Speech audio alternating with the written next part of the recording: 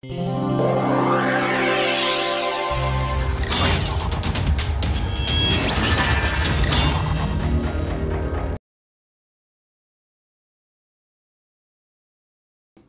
the last module 4.1 we provided an interlude where we summarized the computational problems arising from the formulation of the least square problems linear nonlinear etc. and we also indicated some of the methods the two pathways one by matrix methods another by direct minimization. So in this module 2 we are going to take up the methods of matrix decomposition or matrix methods. Most of the matrix methods are decomposition based tech techniques. We are going to primarily talking about three decomposition techniques Cholesky decomposition, QR decomposition and SVD. We are going to look at the details of how these are organized. Matrix methods for solving Ax is equal to B. We are interested in solving a specific problem of Ax is equal to B so in our case we are interested in solving Ax is equal to B, A is SPD that is what we are interested in. But before I get little deeper into solving systems with symmetric positive matrices I would like to provide a broader overview of the available classes of methods one can use to solve the matrix system. One is called direct method another is called the iterative methods. This is, this is within the matrix methodology. The direct methods they rely on what is called multiplicative decomposition of A. These methods have in general a complexity of n cube. These methods give exact result when there is no round of errors in the computers. In this class we are going to be looking at two, uh, three different classes of methods LU, QR and SVD. LU is the forerunner of all the others. So I am going to start with basic LU then QR then SVD. Multiplicative decomposition of matrices very similar to multiplicative decomposition of integers. If I have an integer n which is given any positive integer n there is a fundamental theorem that, that says I can express it as the product of powers of prime that is called prime decomposition. Prime decomposition is a multiplicative decomposition within the context of integers. For example, if you have the number 25, 25 is equal to 5 square which is the square of the prime. If I have the number 24 on the other hand I could express this as as as 4 times 6, 2 times 2 times 2 times 3. So this could be 2 cube times 3. 2 is a prime, 3 is a prime. So this is called the prime decomposition. So much like any positive integer can be decomposed into product of powers of prime given a matrix given a non-singular matrix I can also express it as product product decomposition or multiplicative decomposition. So what we have been used to doing in numbers I would like to be able to translate it to matrices and that is what these three decomposition methods all entail. These decomposition generally belong to the multiplicative class but the details of the derivation of the factors differ because the properties of the factors differ. On the other hand the system like Ax is equal to B can, all be, can also be solved by iterative techniques. The iterative methods rely on what is called additive decomposition of A. This iterative methods in order to be able to make it operative we have to indulge in what are called convergence proofs. We have to show the method iteratively converges to the solution I am seeking. In any iterative methods one has to be content with what is called the derivation of the rate of convergence is, is one thing to prove that the iterative method converges another thing to find out what is the rate at which it converges to the optimum. The complexity of this method depends on cost per iteration and the desired accuracy as opposed to the fixed cost for the direct methods which are all of the type O of n cube. What is O of n cube? If A is a matrix of size n by n the total amount of work to be done in solving the system Ax is equal to B is it, um, uh, takes a total of, of the order of n cube operation. For example, if n is equal to a million, a million size problem is very routine in geophysical domain. If I am interested in solving a static inverse problem, I convert the static inverse problem to one of solving a linear system Ax is equal to B. So A is a matrix of size 10 to the power of 6. The total amount of work, the total amount of basic operation, basic operations are addition, multiplication, subtraction, division that the computer has to perform to be able to generate is of the order of 10 to the power of 6 cube which is equal to 10 to the power 18. 10 to the power of 18 operations is, is, is large amount of work and that is going to take quite a long, long time. We will try to provide an estimate of how long does it take to be able to solve a million by million system as we go by. But at this stage I would like to be able to uh, concentrate on two mutually exclusive classes of algorithm. One depends on multiplicative decomposition, other depends on additive decomposition. There is also an analogy with respect to integers additive decomposition. For example, if I have number 4 I can express it as 1 plus 1 plus 1 plus 1. I can express it as 2 plus 1 plus 1. I can express it as 3 plus 1. So these are different ways of expressing 4 additively. So these are called additive decomposition. Much like I can express numbers additively I should also be able to express matrices additively. So multiplicative decomposition of numbers, additive decomposition of numbers likewise for matrices these two methods depends on our ability to decompose matrices multiplicatively and additively. Some of the methods of the iterative type are called Jacobi method, Gauss-Seidel method, successive over relaxation methods. These iterative methods are easy to program. The total cost depends on how much it takes for you to be able to perform one iterative step.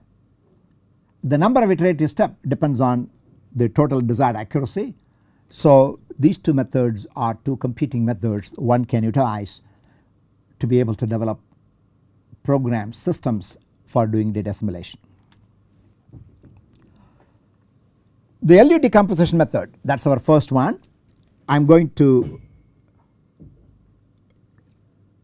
concentrate on some of the major aspects of LU decomposition. It is derived from the classical Gaussian elimination methods that we are all introduced to in the first course in algebra to solve a 2 by 2 system. Do, how do we solve a 2 by 2 system in, in, in, in when we learn algebra? I have ax plus by is equal to f1 cx plus dy is equal to f of 2. How do we do that? We eliminate x in one of the equations. So by multiplying the first equation by minus a by c we can make the first equation to be minus c minus ab times cy c, Um, um, equal to minus c times f1 I have cx plus dy is equal to f2 now I add these two the first two term gets cancelled then I get d minus ab by c times y is equal to f2 minus a by c f1 by dividing I can get y. Once I get y I can substitute one of these equations and recover x. This is called the method of elimination and please remember Gauss was the one who invented this method. Please realize now Gauss's fundamental in inventions he, he developed the Gaussian distribution to be able to describe observational error errors. He developed the least square methodology to be able to solve the problem in astronomy. He also invented this method of elimination to be able to solve linear system. We are cognizantly otherwise we use many of the uh, um, results of Gauss routinely in all our work. So this is the method of Gaussian elimination. This method of Gaussian elimination when written in the matrix formulation can be shown to be equivalent to LU decomposition. So what is LU decomposition? Given a matrix A I can express this as a product. So this is where the multiplicative decomposition comes in as a product of two matrices where L is a lower triangular matrix and U is an upper triangular matrix. What is the lower triangular matrix? In a lower triangular matrix this is non-zero everything above is 0. In upper triangular matrix everything below is 0. Therefore given any matrix I can express it as a product of two matrices with special structures. The structure lower triangular, the structure upper triangular. So there is a general theorem given any non-singular matrix it can be expressed as the product of L and U where L is lower triangular, U is upper triangular. And this decomposition is mathematically equivalent to the Gaussian elimination method we generally use we are generally introduced when we first develop tools in algebra. I am not going to show that it can be done now I am going to approach it using a constructive procedure. One way would be to show such an L and U given A exists. Another way would be I am not going to worry about existence I will simply actually deliver it that will solve the equation A is equal to L, um, um L times U. So A is given let this let this be the L matrix that let, let that be the U matrix I am sorry this must be this must be U instead of A. So I am assuming a particular structure for L I am assuming a particular structure for U. If you compute the total number of unknowns in the L matrix they are all below the diagonal. If you compute the total number of unknowns in the U matrix anything on and above the diagonal. So the L matrix has a total of n times n minus 1 by 2 unknowns. The U matrix has n times n plus 1 by 2 unknowns. These two together consist of a total of n square unknowns. So to be able to compute L and U is equivalent to given the A elements I have to compute the L elements and the U elements. So if I multiply these two uh, these two matrices on the right hand side I am going to get expressions as the product of L and U. I am going to have to equate them to A's. There are n square elements in the left hand matrix there are n square elements in the right hand product matrix. By equating the two I am going to get n square equations in n square unknowns. By solving these n square unknowns I am going to uncover the elements of L and U. They uncover the elements of L and U. So that is the general idea of, of, of, of this methodology. But before I go further I would like to talk a little bit about the structure. In the case of U matrices I assume the diagonal to be arbitrary U1, U11, U22 but I assumed the L to be fixed um, 1 1 1 1. I am going to argue suppose I make this L11 I suppose I make this also L11 L22 LNN the total number of unknowns in the L matrix and the U matrix will be n times n plus 1 by 2 the total number of unknowns will be larger than n square but there are only n square equations. Now please realize how we got here. I started with the underdetermined system or overdetermined system. I converted into a linear system Ax is equal to B. To solve the linear system I again cannot go back to an overdetermined system underdetermined system it becomes circular. So I have to have a determined system. It turns out without laws of generality I can assume the diagonal factors of L they are all unity they are all unity. So this is one way of being able to enforce uh, uh, solvability. So there are n square equations there are n square unknowns. We will illustrate this idea by a very simple example. Suppose I am given so I am I am now going to take an example of a symmetric matrix.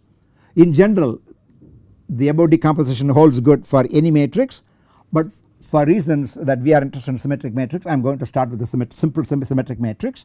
Let A be this symmetric matrix, let L be this, U be this, L and U follow the conditions that we have already stated. If you multiply L and U I get a matrix which is given by this. Now I have to equate U11. So from here you already get U11 is equal to 1. You also get U12 is equal to 3 by 2. Now you now have L21 U11 is equal to 3 by 2 but I already know U11 is 1 therefore L21 also becomes uh, uh, L21 becomes 3 by 2 now if you consider the equation the last equation L21 U12 plus U22 is equal to 1 half. I already know L21, I already know U12, I already know the right hand side is half. So using that I can determine U22. So in this particular way I have determined L is given by this, U is given by this. So now look at this now. Once U11 is known, I can compute L21. One U12 is known, I can compute U22. So there is a particular structure with which we can uncover the unknown elements. This structure is embodied in the LU decomposition algorithm. I am providing a pseudocode. I am sure you can read the pseudocode. I do not think I need to, I want to repeat the instructions in the pseudo code. You can readily see there is a for loop, there is a for loop and there is one loop another loop at the same level.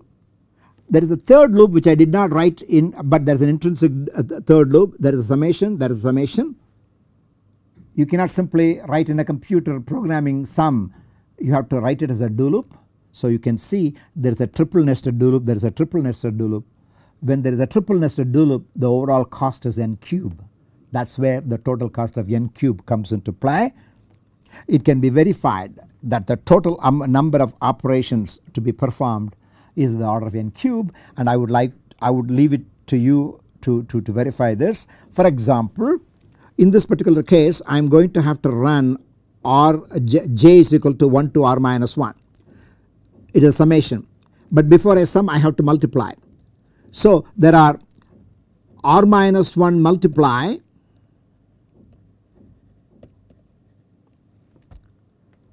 that will give me r minus 1 numbers then I have to add them all. To add 2 numbers I have to make one addition add numbers I have to make 2 additions. To add r minus 1 numbers I have to perform r minus 2 additions and I have to perform one more addition subtraction. Subtraction and addition are essentially the same. Therefore this particular step is going to require r minus 1 plus r minus 2 plus 1 that is going to be equal to 2 times r minus 1 operations. But r runs from 1 to n. Therefore this particular do loop alone is going to now require 2 times r minus 1 R runs from 1 to n. R runs from 1 to n. I am sorry. Uh, I would like to uh, uh, uh, I would like to revisit this issue once again. Um, again. That is correct. Good. And this is uh, this one is embedded in in this do loop if it is embedded in this do loop this is repeated R running from 1 to n sorry that repeated R running from 1 to n R to n is n minus R. So this has to be done n minus R times where R changing. So likewise you can compute the operations in here then you have to compute the operations overall. So if you add up all these expressions you can verify the total amount of operation is the order of n cube and I would like to leave this as a homework problem for you to compute. Please do and convince yourself that to solve any LU decomposition problem it requires n cube operations. Now the question is this once I have computed L and U how what do I do with it? Let us go back. A is equal to LU, A is equal to LU. Therefore, Ax is equal to Lux. Lux can be written as L times u of x. Now I can write u of x is equal to g. If u of x is equal to g then this becomes Lg is equal to b. So Ax is equal to b reduces to Lg is equal to b. And then to uncover x I have to solve ux is equal to g. Therefore the LU decomposition framework essentially gives you first decompose A is equal to LU then you have been given see you have been given A and B use A find L and U then using the L you found in the previous step and the B solve for G solve a lower triangular system. You already know U you already know G from the previous step solve Ux is equal to X. So that is how you solve in 3 steps LU decomposition step solution of lower triangular system solution of upper, upper triangular system. These 3 together constitute the method of LU decomposition and this method is applicable to any matrix so long as A is non-singular. So this is the mother of all direct methods LU decomposition the basis. This is it is from here all the other methods start. Now I am going to talk about method of solving the lower triangular system. So please remember LU decomposition algorithm we have already seen how to decompose please remember we have already seen how to decompose. I have given a pseudocode. Now I want to be able to solve a lower triangular system but before I go further I want to tell solving a lower triangular system and solving a lower upper triangular system are essentially similar mathematically. Why is that? The transpose of a lower triangular is upper triangular and transpose of upper triangular is lower triangular. Therefore I could once I know how to solve a lower triangular system I also know how to solve an upper triangular system so I do not have to deal with these separately. So suffice to say that I would like to be able to solve a lower triangular system. So L1100, L21, L2200, G1, G2, Gn, B1, B2, Bn I can recover please remember from the first equation I, I can recover G1 then for i running from 2 to n I can recover any of the other gi's by this simple formula. So using this loop and another embedded loop for the summation I can essentially solve the system. It can again be verified the total operation that is required is only yn square. Please remember LU requires yn cube but solving a lower triangular system is much cheaper it is only yn square. n square does not grow as fast as n cube therefore solving lower triangular system is much cheaper. For the sake of completeness I am also giving you an algorithm for upper triangular system. This is the typical upper triangular system x we computed g from the previous cases. So I can recover xn first. I can compute xn first.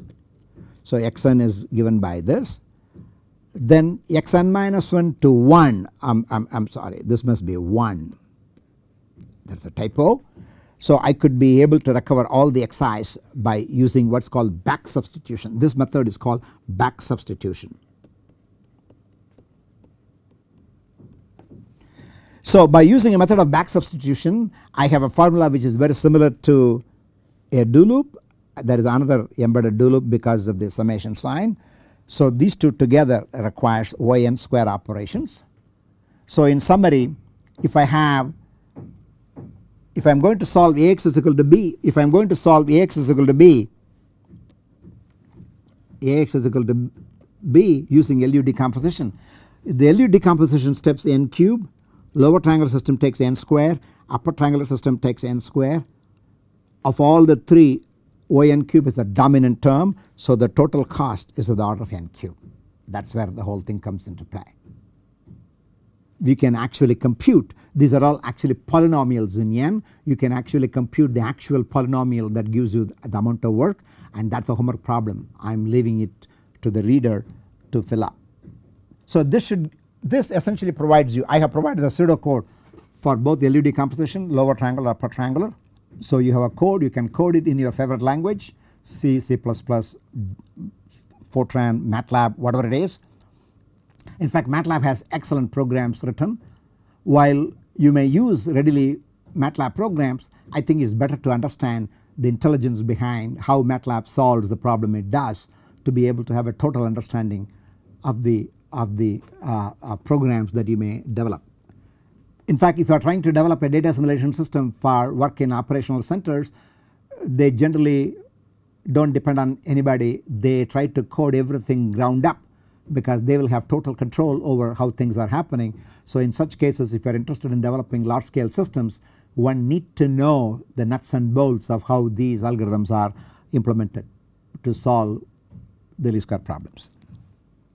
Now I am going to give you an indication of the time involved. I think this, this will be a very interactive exercise. Let us assume n is a million, n cube is equal to 10 to the power of 8 operations. I have to perform these operations in a machine. Let us pretend I have the best machine money can buy.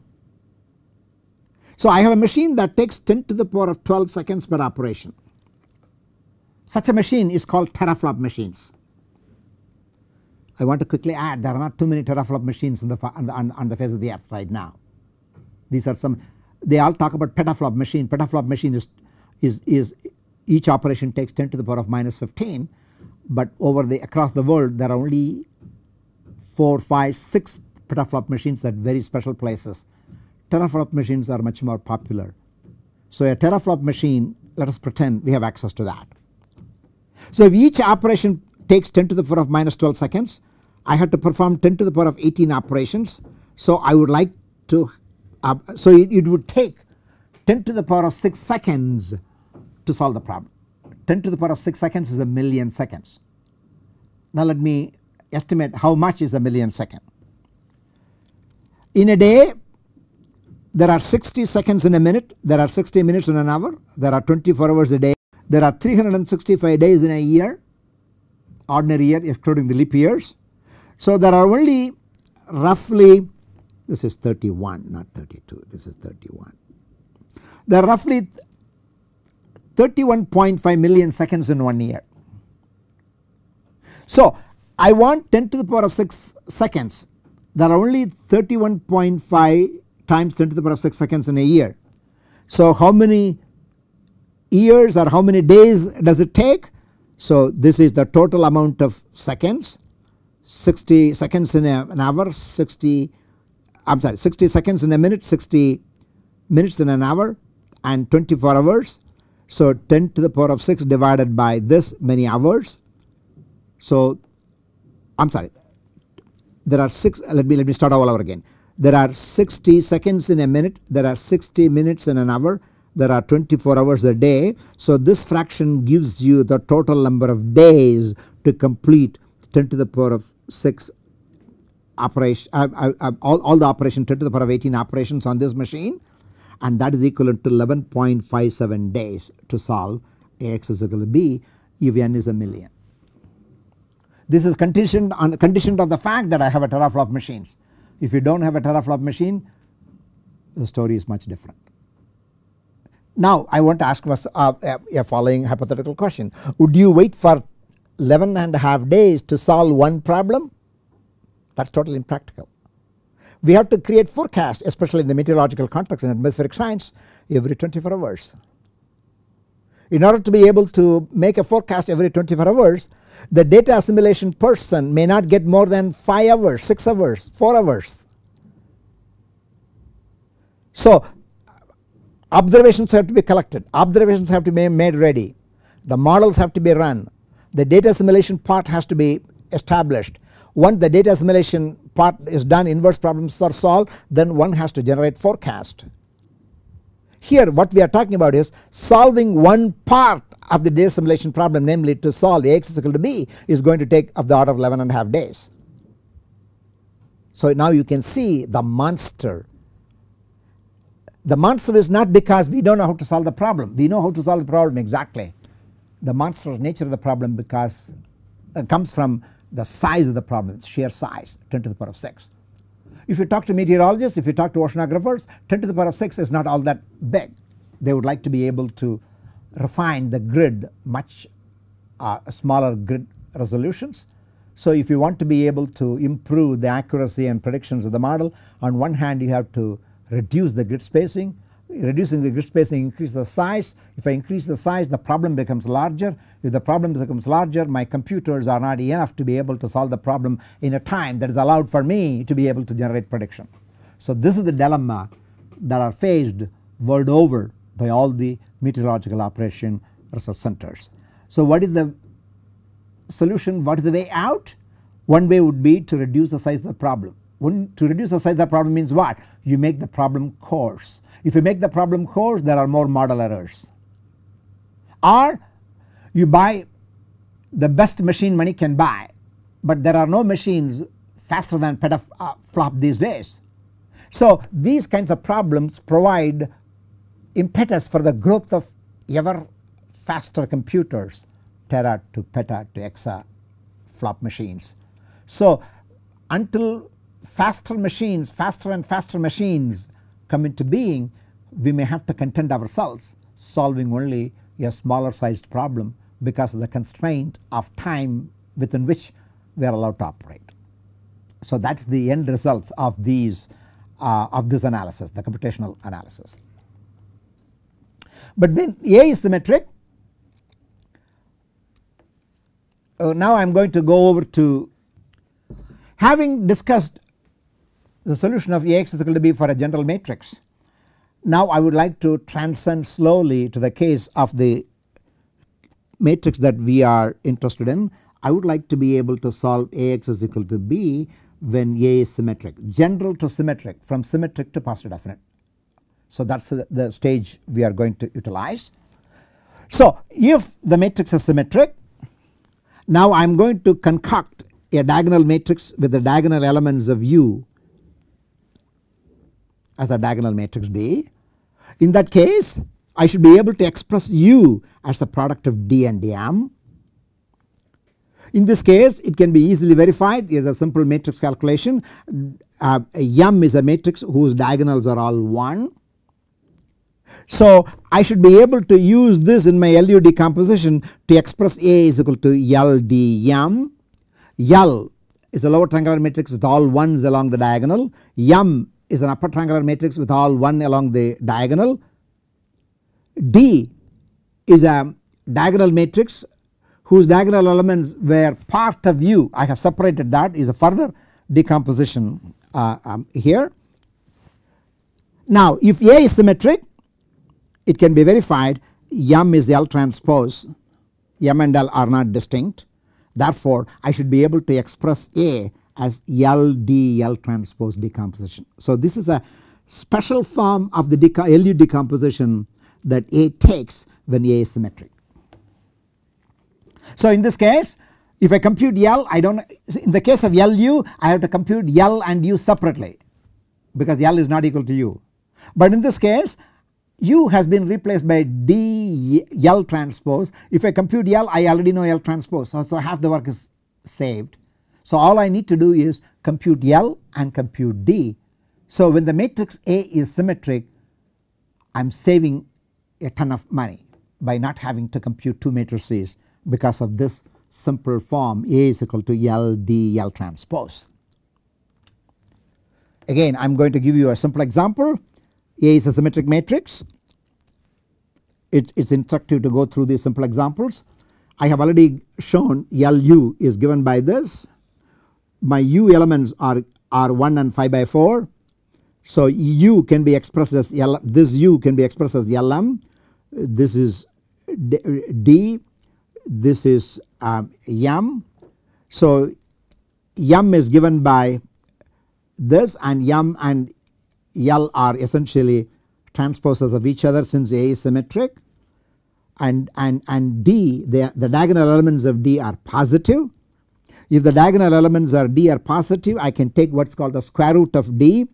The square root of D I can express this as the square root of a matrix square root of a diagonal matrix is simply a matrix whose element whose diagonal elements are square root of the corresponding diagonal elements. So the diagonal elements are 1 square root of 1 is 1 square root of 5 by 4 is square root of 5 by 2. So this is the square root matrix square root matrix.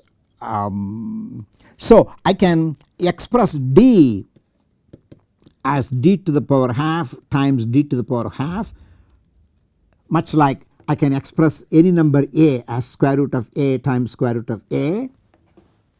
So what is that I have now done? I have identified L, I have identified U, I have identified D, I have identified M, I have shown M is L transpose. Further I took the square root of D, D can be expressed as D to the power half, D to the power half the power of the square root, I am sorry the product of the square roots. Therefore A can be replaced by L d to the power of half d to the power of half L transpose. I can combine these two parts I can combine these two parts. So this part is essentially L d to the power half I am sorry I, I, I would like to write it clearly.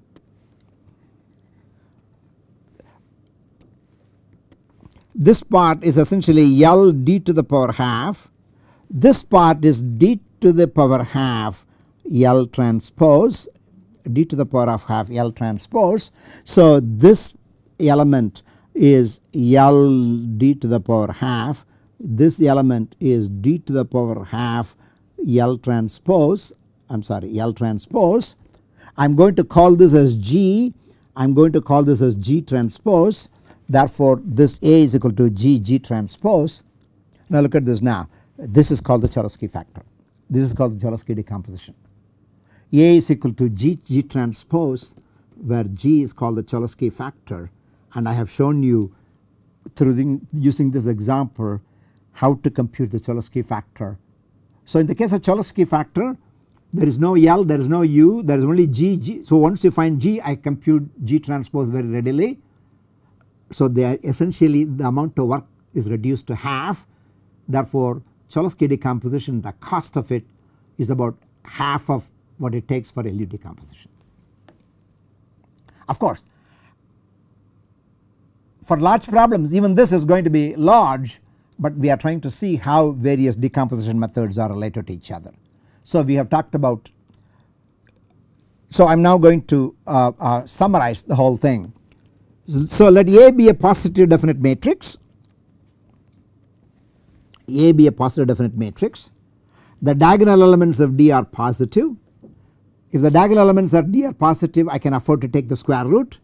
In that case I can express D is equal to D to the power of half times D to the power of half. So LDL becomes LD to the power of half D to the power of half L transpose which I can associate as the product of LD to the power of half LD to the power of half transpose. You can readily see the transpose of the diagonal is the same so I'm, I can now define G is equal to L d to the power of half that is called the Cholesky factor in which case A becomes G G transpose. So that is called the Cholesky decomposition. The diagonal elements are given by u11 to the power half u22 to the power half unn to the power half and that is the square root of the diagonal matrix. In some circles the matrix G that we compute they also call it a square root of A. So if I can talk about square root of a diagonal matrix, if I can talk about a square root of a number I should also be able to talk about the square root of a matrix but here comes the difference. When you take numbers square root of a positive number so a if a is equal to phi square root of phi if a if I consider a minus phi square root of minus phi is complex numbers so square root operation if you want to remain within the real world square root is defined only for positive numbers. Likewise if you want to be able to define square roots of matrices the matrices have to be positive definite. So square root of a positive number square root of a positive definite matrix Cholesky factor Cholesky factor also being called the square root of A. So if I say A is equal to G G transpose I call G Cholesky factor I call G the square root of A both the names simultaneously apply. Dif different people use different characterizations for G but, but the end result is this is a multiplicative decomposition. I am now expressing the computation of G in the form of a pseudocode again you can readily follow. You can readily follow The only difference between LU decomposition and Cholesky decomposition is that in LU decomposition there is no square root operation. In the case of Cholesky um, there is a square root operation. Square root operations are tricky. Square root is not a basic operation. To be able to take a square root of a given number it may take a lot more uh, time. So this is called Cholesky decomposition with square root operation. So I have to be able to perform addition, multiplication, subtraction, division and square root. So if I consider that um, we still need to do n to o, o, of n cube operations but the leading coefficients of the polynomial that represent the amount of work is about one half of that required for LU decomposition. Therefore Cholesky decomposition of symmetric positive matrices are cheaper than LU decomposition for any general matrix. So now I am going to talk about the framework. The, the in this this is framework I think I do not think that is uh, uh, there is a there. So let S be a SPD G is equal to GG transpose AX is equal to GG transpose X G times G transpose X I am going to call G transpose X as Y so GY is equal to B. So given this framework I have a 3 step algorithm compute G then solve the lower triangular system GB is equal to GG is equal to B and then solve an upper triangular system G, G transpose X is equal to G. So you can see the second step depends on the first step, the third step depends on the first step and the second step. So we solve the system in again a 3 step procedure quite parallel to the LU decomposition but at a lesser cost. The total cost of lower triangular system is n square, upper triangular system n square this is n cube the overall cost is still n cube but with a smaller coefficient for the leading term so it is slightly cheaper. So if you look into MATLAB for solving normal equations if you apply Cholesky decomposition so what is that that is one has to do one has to do the following you have H you compute H transpose H you call it A then you split A is equal to G G transpose once G G transpose is computed you can use the lower triangle system upper triangle system to solve the resulting linear least square problems. This method of solving the linear least square problem using Cholesky decomposition is a fundamental and a basic tool and that method has come to be called method of normal equations, method of normal equations.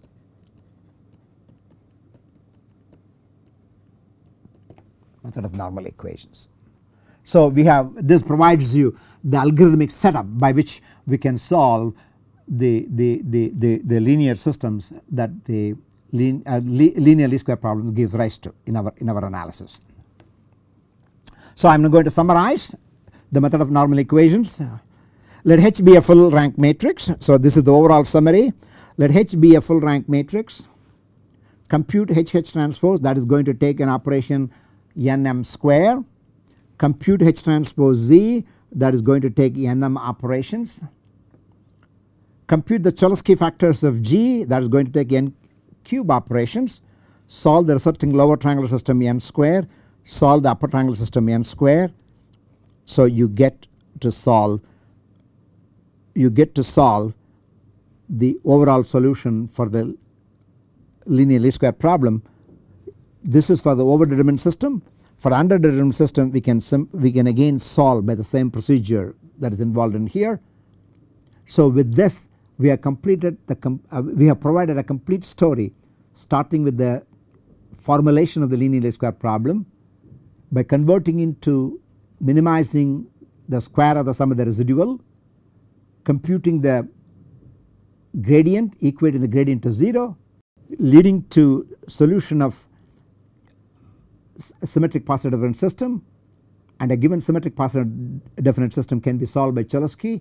So we have provided a complete path from formulation to analysis to algorithms to computational complexity to pseudo program and be able to deliver the result. So this is the pathway a complete pathway that that is exactly what happens when they say I have developed a data assimilation system for use in practical applications.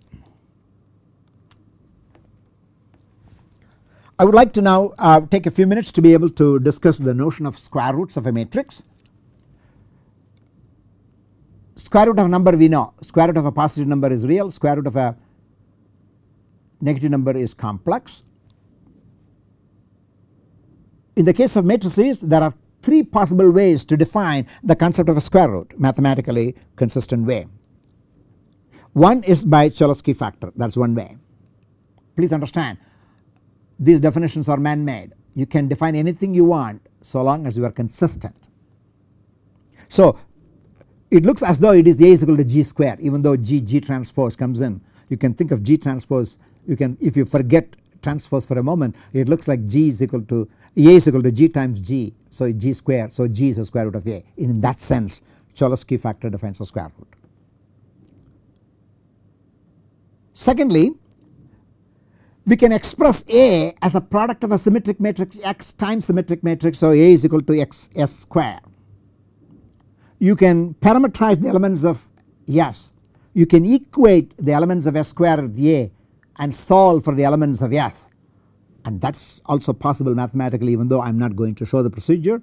The procedure is not too different from the LU decomposition. There we assume the elements of L and elements of U are unknown here I am going to assume the elements of S are unknown. Once the elements of S are unknown you multiply S square. The elements of S square are functions of the elements of S. Element you equate the corresponding elements you solve for the elements of S you get what is called symmetric square root. So what is the difference between the Cholesky square root and a symmetric square root? In the case of Cholesky the square root is a lower triangular matrix G is a square root lower triangular matrix. In the case of symmetric matrix S is a full matrix it does not have any special structure but it is a symmetric square root. S is a symmetric matrix we require it to be a symmetric matrix. It has an upper half it has a lower half essentially they are the same because a symmetric symmetric square root. So I can compute the symmetric square root that is another way to define. A third kind of square root also comes from eigen decomposition from the module on, on, on matrices we have already seen any matrix can be expressed the can, can, can be expressed as the product of V lambda V transpose this is called eigen decomposition. We are assuming A is SPD any SPD using eigenvalue decomposition can be expressed this way that is called eigen decomposition. I can so V lambda V transpose is equal to V lambda to the power half lambda to the power half V transpose. This is equal to V lambda to the power half times V lambda to the power half transpose.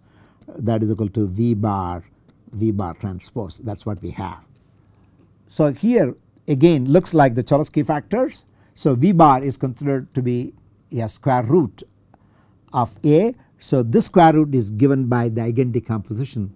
So now if you say a square root of a matrix there are 3 different ways of computing square roots. You have to essentially specify the method by which you compute the square root. In data assimilation the Cholesky based square root as well as the eigen decomposition based square roots are very popular we seldom use the symmetric square root but it is mathematically possible. So from square root of a number to a square root of a matrix, Cholesky decomposition, square root of matrices, different ways of defining square roots in a consistent way and we can utilize these square roots to our benefit when we do analysis with respect to matrix algorithms.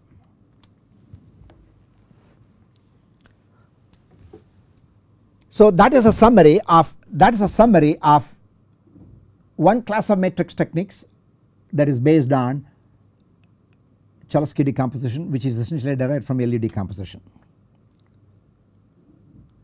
Now I would like to slowly move into the next uh, uh, decomposition method that is called the QR decomposition. For that I need to have some preliminaries so I am going to recall some of the definitions from matrix theory.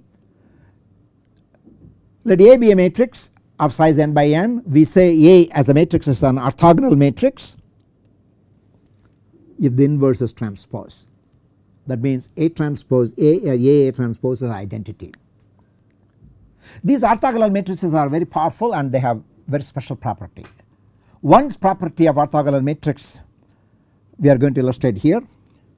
So let A be orthogonal matrix let x be any vector. If you multiply a vector by a matrix I get another vector. So y is a vector which is an orthogonal transformation of the vector x using the orthogonal matrix A. I want to be able to compute the square of the norm the, the square of the 2 norm of y. The square of the 2 norm of y is square of the 2 norm of ax. The 2 norm by definition is ax transpose times ax. ax transpose is x transpose a transpose a times x. a transpose a if a is orthogonal is identity is equal to x transpose x which is equal to square of the norm of x. So look at this now I start with a I start with a vector y I linearly transform y to a these two vectors happen to have the same length. That means what does it mean? This means that 2 norm is invariant under orthogonal transformation. So what does this imply? If two vectors have the same norm means they lie on the same circle with radius norm of x. So if y is another vector y also lies on the same circle with center as origin radius as norm of x this is equal to norm of y and we, we first saw norm of y is equal to norm of x. So what does this mean? If I have a vector x, if I have a vector x, if I multiply the vector x by an orthogonal transformation, the orthogonal transformation simply rotates it without elongating it, without shrinking it the length remains the same it simply rotates it. So y is simply a rotation of x that is the fundamental property that I would like to be able to emphasize at this moment. The 2 norm is invariant under orthogonal transformation. This is going to be very useful in the development of QR algorithms. So QR decomposition algorithm I am also going to consider the case when m is greater than n for simplicity so let H be a matrix, well let H be a matrix or Mn then there is a fundamental theorem that says there exists an orthogonal matrix Q and an upper triangular matrix R such that H is equal to QR Q Q transpose Q transpose Q is IM that because it is an orthogonal matrix R is an upper triangular matrix. So I am going to express that in notation. This is the matrix H, this is the matrix Q, this is the matrix R, R is upper triangular. H is m by n, Q is m by m and R is m by n. So R is a rectangular matrix, um, uh, H is a rectangular matrix but Q is a square matrix. So this is called full QR decomposition. Now look at that now. LU decomposition is for square matrices A is equal to LU. QR decomposition applies to even general matrices namely rectangular matrices. So it is much more powerful. It is a generalization of sorts in one way. So what is the idea? Why to form so you start with H you compute H transpose H and then decompose. Why do you create A and then decompose? Why not you decompose H itself directly? That is the idea. H is the m by n matrix. So this m by n matrix can be expressed as the product of two matrices with special structures. This is orthogonal that is upper triangular. Orthogonal matrices have special properties upper triangular matrices are very simple matrices structurally simpler matrices. What do I mean by saying orthogonal matrices? In an orthogonal matrix the columns of Q are orthonormal vectors. What do you mean by orthonormal? The length of each vector is 1. If I pick any two vectors and do an inner product that is 0 that means any two columns are mutually orthogonal every vector is of length 1 such a collection of vectors is called orthonormal vectors. So this is a very special form of decomposition. It is also generalization of the LU decomposition. So there are lots of beautiful properties from going from LU to Cholesky to QR. Now I would like to go back. M is larger than N. So this is an overdetermined system. M is larger than M. M yeah M is la sorry M is larger than N. So there are M rows I am going to cut it at N rows. So this is this is N this is m minus n.